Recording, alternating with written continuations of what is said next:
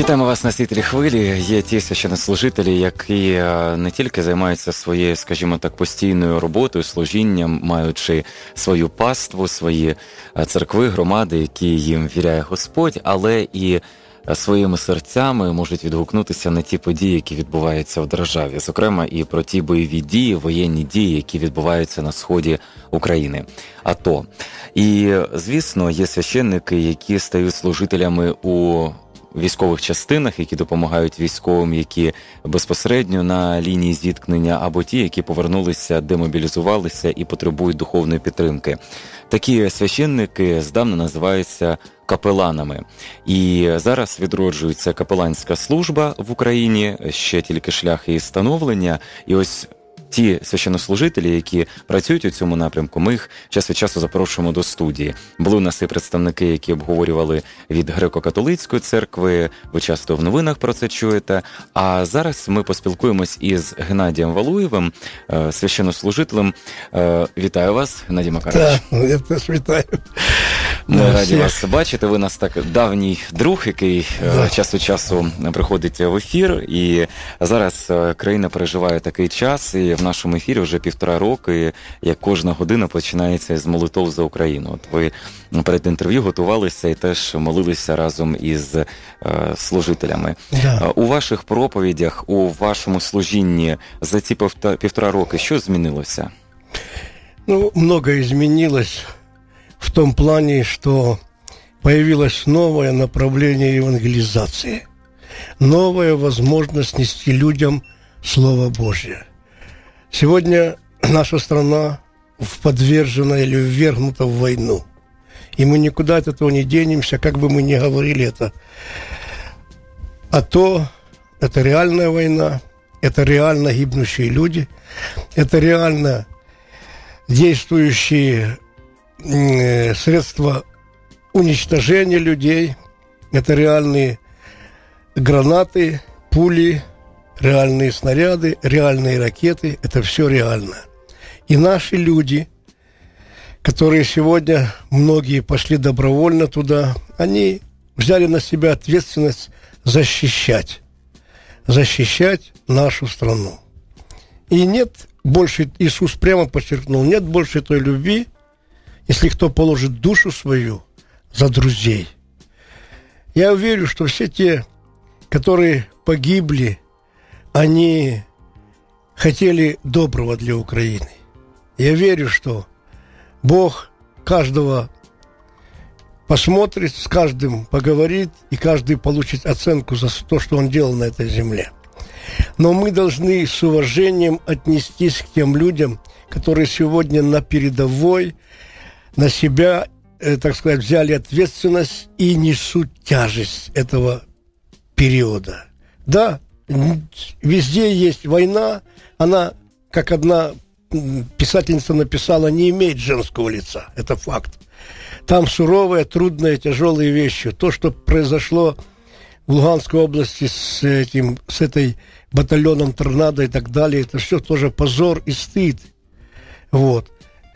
Я убежден, что среди сегодня э, действующих воинских подразделений есть люди, которые хотят на этой войне нажиться, и факт это остается фактом, никуда мы этого не денемся. Но подавляющая масса людей, которые находятся на передовой, они хотят принести мир и защитить свои семьи, свои города, свои селы. Геннадій Макарович, от ви сказали про е, такі от е, прикрі випадки. Вони, на жаль, трапляються під час усіх воєн, і е, навіть із тими військовими підрозділами, які належать найрозвиненішим країнам. Ми знаємо е, по події нещодавно розслідування і Іраку, і інші щодо американських військових. Тобто на війні людина е, стає, в неї прокидаються якісь такі звірячі просто інстинкти, і напевно тут ми маємо поговорити про те, що церква, віруючі люди, такі служителі, як ви, може запропонувати. Тобто, якщо була б така духовна підготовка і духовний супровід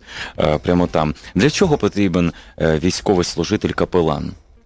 Яке Ну, його завдання? Главная задача – это нести свет Евангелия людям, которые там находятся. Да, среди капелланов есть и мусульманские служителя, Есть люди, которые занимают эту позицию. Их мало, их не видно, но они есть. Но в основном это служителя и священники и пастыра христианских направлений, христианских конфессий. Как киевского патриархата, как католический, греко-католический, так и протестантский. И к нашей радости я могу констатировать, как человек, который ежедневно подписывает командировки людям, которые едут добровольно, несут Слово Божье. Это одна из главных форм евангелизации сегодня нашей страны.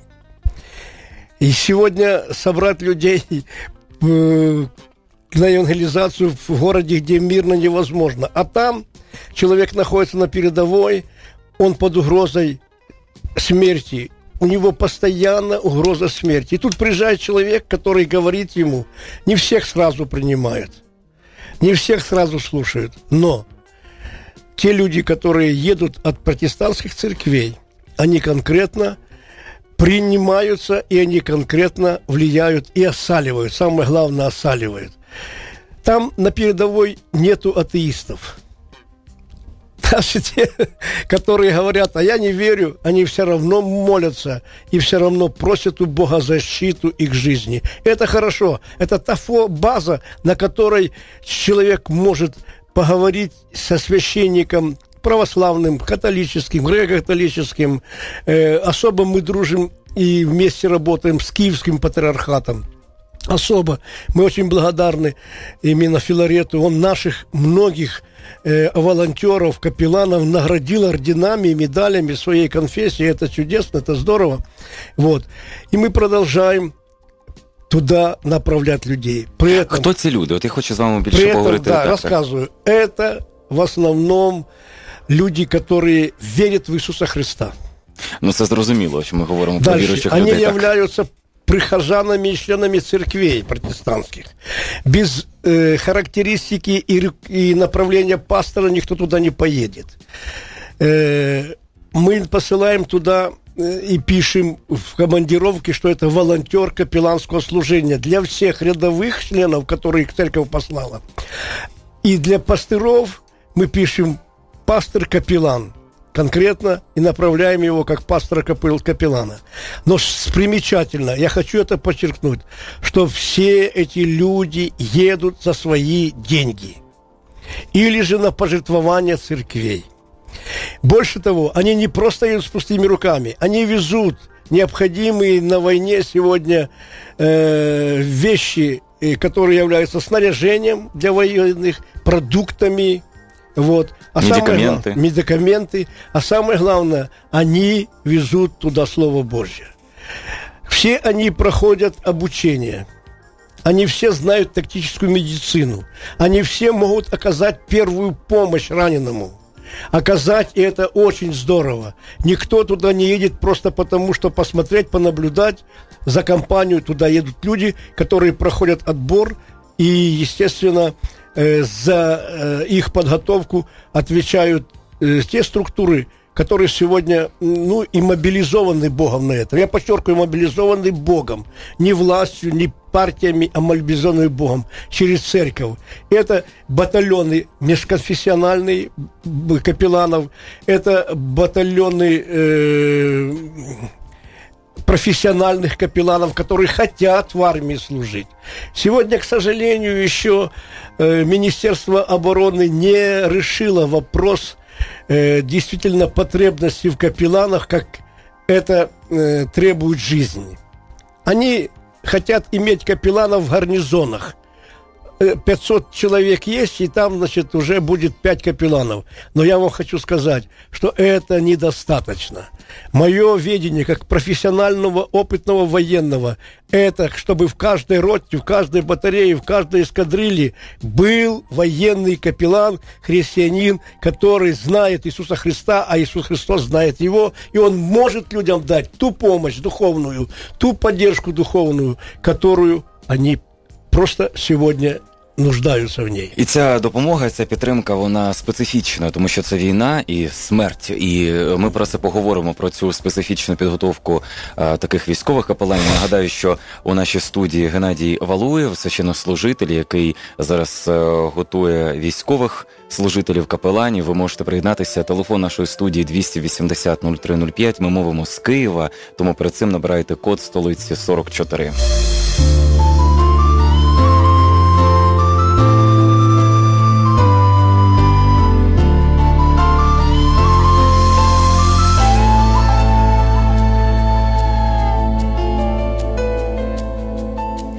Вчора вже не прийде, завтра ще не прийшло. Все, що в нас є з тобою, це сьогодні, в майбутнє не зазирнеш, минуле не повернеш, чарівний птах в руках, це сьогодні.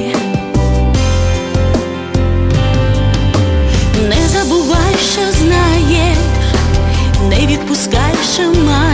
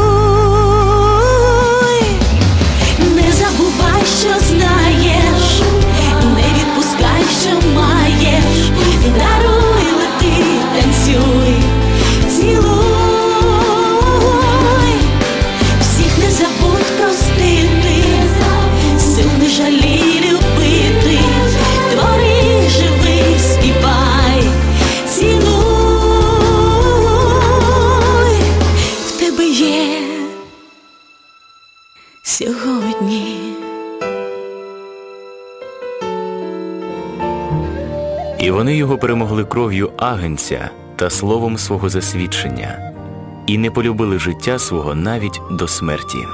Світлі гості на світлому радіо. Священнослужитель Геннадій Валуєв зараз у нашій студії. Ми говоримо про військових священників, про війну і про християнство. Тут дуже важливий такий аспект, Геннадію Макаровичу. Ну, якщо почитати е, спогади тих е, військових капеланів, які повернулися, зараз вони е, декотрі ведуть блоги в інтернеті, є інтерв'ю. Е, ну, перше питання, яке виникає, це вбивство. Солдат, який е, захищає свою батьківщину, е, він вбиває ворога. І тут ще така складність, що ми бачимо, декотрі у нас є в обличчі ворога, це е, конкретні російські військові, які заслані були е, для е, навчання, для провокацій, для підтримки сепаратистів, і наші співвітчизники, які піддалися на пропаганду російську, які повірили у те, що буде Донбас і, е, у складі Російської Федерації, за це воюють. Воюють із теж зі своїми е, співвітчизниками, такими ж українцями по той бік. Тобто це дуже складно. Що має священнослужитель е, пояснювати, розповідати, коли солдат говорить Я вбив людину? І вбивство на війні це вбивство? Знаете, самое, э, ну, неправильное, по-видимому, что протестантское движение в свое время приняло э, толстовское учение о, несопротив... о не... Не... сопротивления, противостояния злу. Вот. И действительно, Иисус этому учит, кто ударил тебя по правую щеку, постави ему левую. То есть не протився злу. Но речь идет о выполнении военнослужащим своего гражданского долга.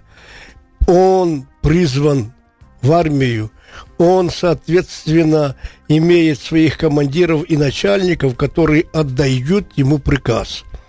Я нигде не видел э, в Слове Божьем, чтобы Иоанн Креститель Иисус Христос говорили военнослужащим э, Римской империи, которая в основном была агрессивной по отношению к другим народам и государствам, завоевывая их, захватывая их города, имущество и все прочее, чтобы он сказал, оставьте свое вооружение, уйдите с армии, и тогда я нигде не видел.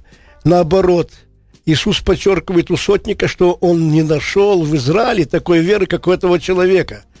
То есть мы сегодня не должны путать убийство человека э, по, из-за грабежа, из-за зла, из-за ненависти и то, что происходит сегодня на фронте, на передовой в АТО, когда стреляют с противоположной стороны, и им дают приказ стрелять в ответ, и они стреляют, и, конечно, они убивают. И, конечно, на их совести это тяжелым бременем ложится.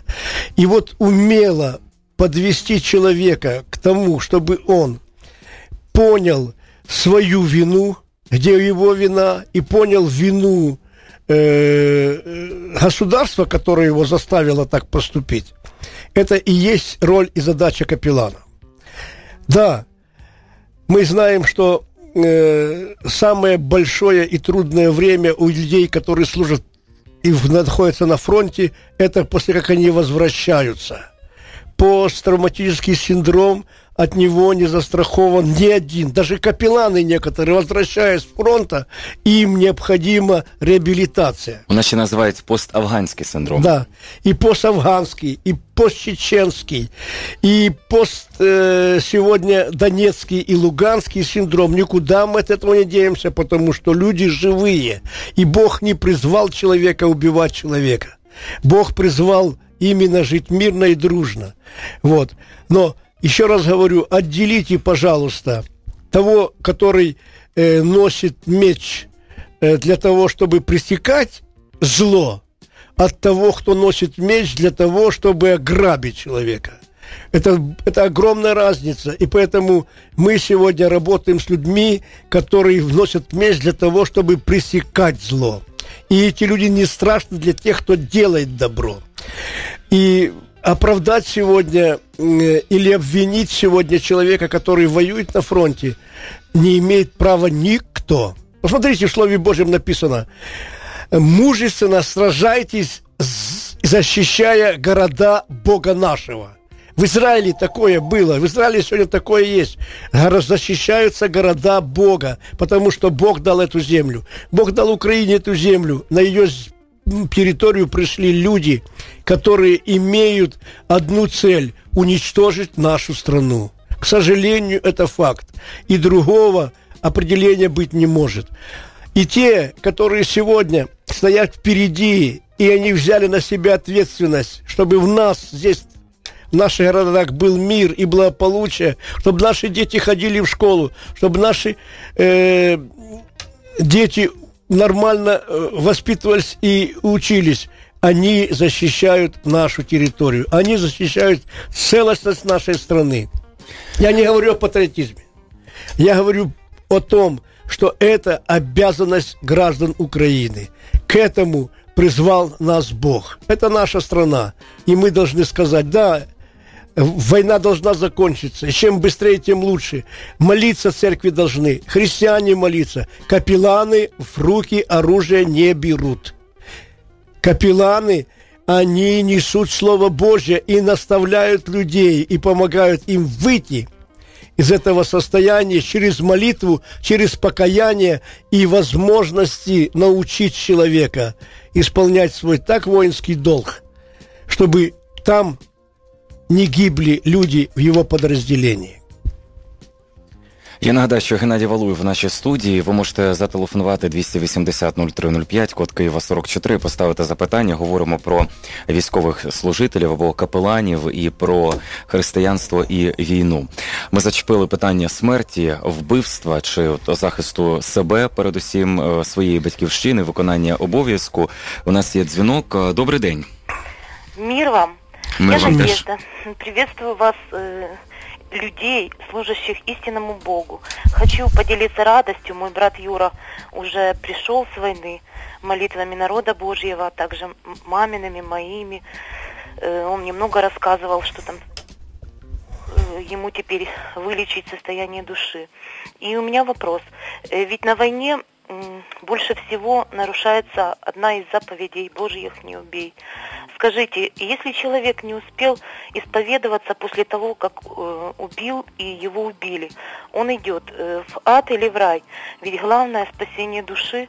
Благодарю вас э, за ваш труд для Бога. Благословляю, уважаю вас. Надеюсь, скоро война закончится и все примирятся с Богом. С Богом. Дякуємо. Ну, Тут дуже складне Это запитання. с- очень сложный вопрос, и на него сложно, естественно, ответить. Вот. И так категорично сказать, что он идет в ад или в рай, я не могу. Я могу только сказать одно, что этот человек предстанет пред Богом, и он пред Богом даст отчет, и Бог решит, куда ему идти. Добре, ну тут конкретна ситуація. Ти розумієш, що вбив людину, т- наприклад, а взагалі снайпер. Тут ми говоримо про те, що ти виконуєш, але ж ти е, у тебе робота, передусім, ти вже навчаєшся е, на цю спеціальність е, військову для того, щоб ліквідовувати бойовиків, терористів. То може людина віруюча одразу йти? Тобто це ж не випадково тебе мобілізували, ти навчався рік, два, спеціальні є школи для цього військові. Ну, как правило, снайперами идут добровольцы, они знают, куда идут, вот, и волонтеры, э, если они не пройдут хорошую подготовку, они туда не попадают. Но наши капелланы работают с снайперами, говорят с ними, вот, и призывают их к тому, чтобы, выполняя свой долг, исполняя приказы командиров, начальников, отдающих приказ на наступление, на э, эту работу, как называют снайперы, работу по убийству врага, они, естественно, э, имеют тяжелые на сердце последствия, в разуме тяжелые последствия. Вот. Но я знаю и другую сторону, что Бог говорит через Исаию, если твои руки погрянет крови, я их убелю. Это от Бога зависит. И опять-таки и от человека, как он научен и наставить. Вот наставить этих снайперов, научить этих снайперов, помочь этим снайперам э, действительно э, выполнить свой долг. Потому что он, в армии нужно мужество. В армии нужен, э, нужна дисциплина. В армии нужен героизм, потому что без этого невозможно выполнить задачу. И в армии нужна смекалка. Я хочу привести вам пример. Есть э, такой пастор, капеллан, э, пастор с церкви Небесный Иерусалим, из города Павлограда, зовут его Александр Жещ. Он добровольно пошел э, в подразделение на войну, и, что удивительно, попал очень в серьезный батальон. Батальон серьезный, потому что у него очень серьезные задачи. И он попал служить в, во взвод, э, ремонтный взвод. И вот он там, в этом взводе, объезжая все подразделения, он имеет возможность разговаривать с солдатами И что примечательно, что благодаря ходатайству нашему командир назначил его исполняющим капелланом, совмещает он работу капеллана, вот, и, естественно, военнослужащего, который за рулем автомобиля, вот. Но благодаря тому, что он научил этих людей молиться, этот батальон с самого начала он учил людей молиться, в этом батальоне за все время э, войны погибло только пять человек. И эти пять человек погибли не потому, что там в боевых действиях были непосредственно, а погибли по своей недисциплинированности. И это показатель того, как Бог управляет жизнью людей на фронті. Геннадій Валуєв у прямому ефірі. Ми говоримо про війну та християнство, про вбивство і віру, про заповіді і разом з тим е, те, як все це може виконуватися у військових умовах. Е, Це досить складні питання. До нас приєднуються радіослухачі. Добрий день. Добрый день. Як вас звати? Владимир, Володимире, слухаємо вас. я э, только что слышал, как э, м, сейчас э, ваш гость говорил о том, что э, не берет оружие капеллан.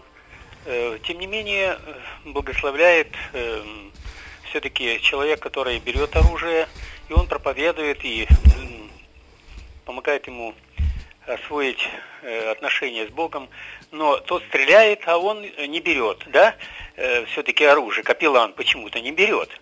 А человек, который стреляет, да никогда Бог изначально не мог, никогда, в общем-то, допускать, чтобы жизнь человеческую отнимал друг у друга, брат у брата, никогда. Поэтому это издержки, и никаких оправданий нет. Э, Даже пускай, пускай по Писанию посмотрят, почему эти войны начинались, почему, ну, исследуя Писание. Только Дивіться, е, ми говоримо про те, що зараз от є місто, в якому ви живете, на нього наступає ворог. І е, виходять чоловіки. І жінки інколи, які е, професійно підготовлені, Да. і вони захищають своє місто. Тобто, ви вважаєте, що ви не потріб... не повинні захищати е, е, Я зі зброєю?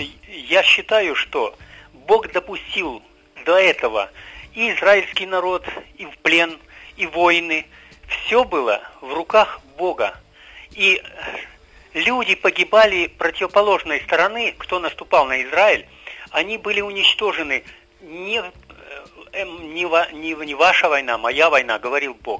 Поэтому война, которая допускается, это благодаря тому, что мы отступили от него, ну настолько уже. Я розумію, але ви зараз ви так е, розмірковуєте, ви філософствуєте. А от я кажу конкретний факт: є місто, е, ви чоловік, е, ви захищаєте свої сім'ї. Наступають е, злочинці, які обстрілюють міста, які Є- гвалтують жінок, які вирізають дітей. І ви Є- будете просто наводити їм цитати, якісь бачачи, Я- що вони е, наркомани, Если касается, что меня лично, Так. если меня лично, то я никогда не подыму руку на другого человека, даже если меня будут убивать. Потому что я только рассчитываю и знаю, что если допущена сейчас смерть мне, то это только во благо все человеку, каждому. Как вас зовут? Владимир, Владимир, у к вам вопрос. У вас дети есть? конечно, есть. Вот ваших детей сейчас будут резать ножом. Вы что будете делать? Какой только вопрос всегда вы задаете, всегда. Но я знаю, что до ну этого не ответьте мне, пожалуйста, что вы будете делать? Вы лично. А я знаю, что не будет этого. А, не будет этого? Не будет Дай этого. Бог, молитесь, чтобы этого не было. Я вас очень прошу. И когда э, люди м, э, пришли, сказали Иисусу о том, что Галилеян, Ирод, смешал их жертвы с кровью их собственной, вот, Иисус сказал простые вещи. Не думайте, что они были грешнее, чем вы.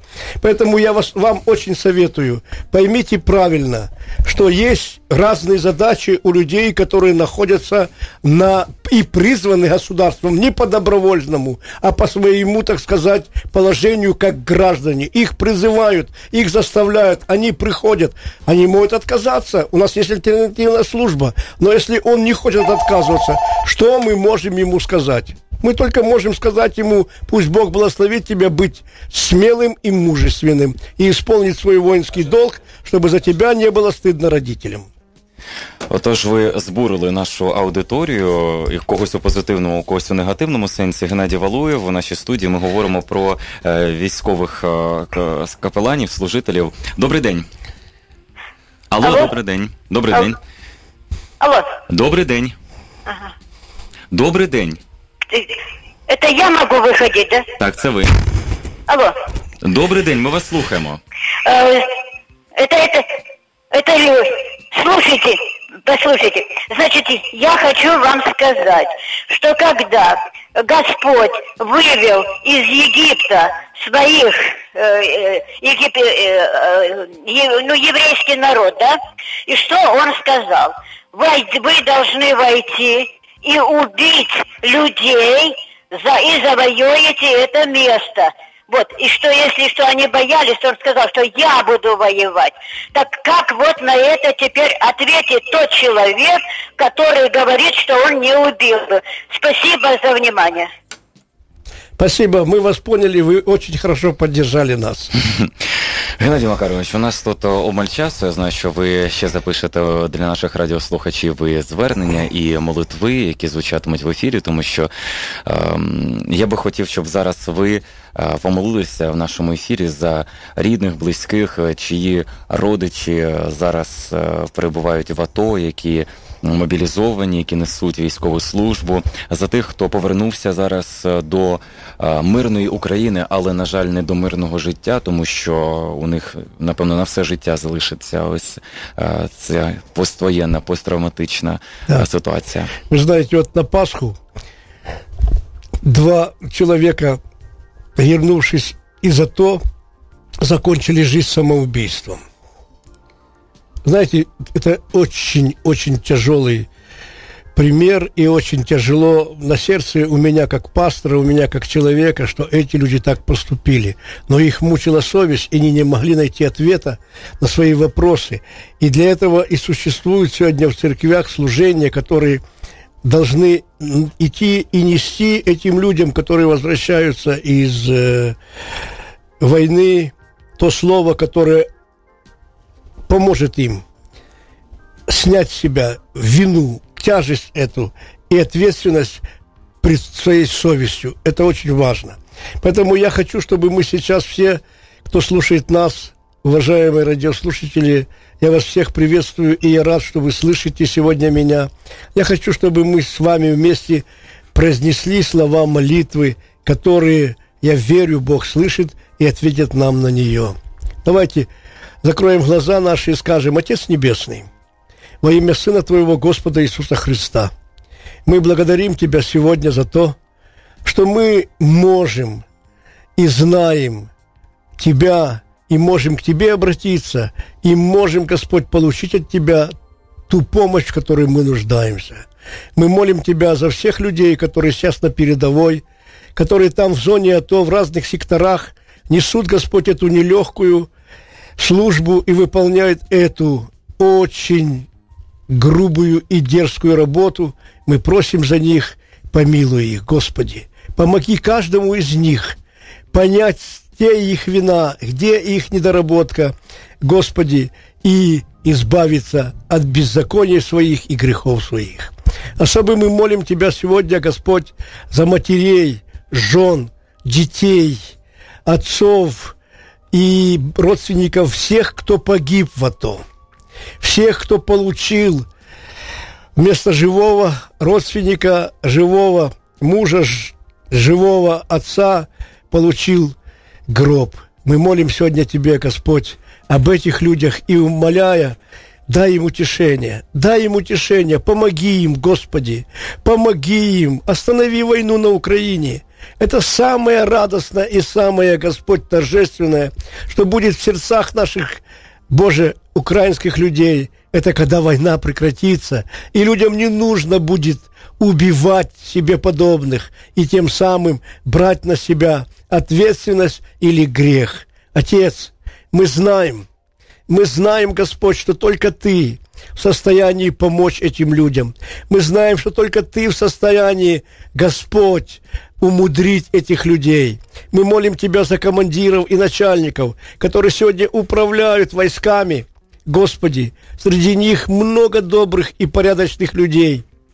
Господи, и они должны выполнить свою работу, потому что они дали обещание делать ее добросовестно. И умоляя, просим, Боже, помоги, Господь Боже, не заниматься тем, чем иногда занимаются, Господь Боже, люди на войне. Мародерничают, насилуют, грабят. Отец, Боже, мы просим Тебя, останови, чтобы в наших рядах, в наших войсках этого не было. Господи, помоги, Господь Боже, понять ответственность людям, которые несут боевые, Господь Боже, действия сегодня, Твою, Господь, любовь и милость к ним, и стать, Господь, милосердными там, где можно проявить милосердие, стать, Господь Боже, добрыми там, где можно проявить доброту. Мы просим во имя Иисуса Христа. И, Боже, останови войну на Украине. Останови. Это будет большим подарком для всех нас, потому что мы, Господь Боже, знаем, что всякий, кто лишает жизни другого, его совесть мучает, и это проблема, которую не решить человеку самому, а только твоя помощь, и только твоя поддержка, только твоя, твое освобождение, и только кровь святая твоя, Иисус Христос, пролита на Голгофе, может смыть этот грех и убрать, Боже, э, осуждение этой совести. Ты в своем слове сказал, что если совесть твоя осуждает тебя, то кольми паче Бог. Благослови, Господь Боже, чтобы все люди, возвращаясь, Господь, оттуда, из зон боевых действий, Господи, имели хороших наставников и советников в лице родных, близких, а также служителей, Господь, пастыров, проповедников, диаконов, чтобы они, Господь Боже, посоветовали и помогли этим людям исправить и удалить тот суд, который Господь неизбежно приводит их, Господи, в уныние. Я прошу во имя Иисуса Христа, сохрани жизни людей, которые возвращаются от, оттуда с войны. Сохрани их, сохрани и помоги им исправить, Господь, свое внутреннее состояние и получить, Господь, ту свободу, которую даешь только Ты. Мы просим, Отец, за всех, кто воюет. Мы просим, Отец, за тех, кто ожидает воюющих домой.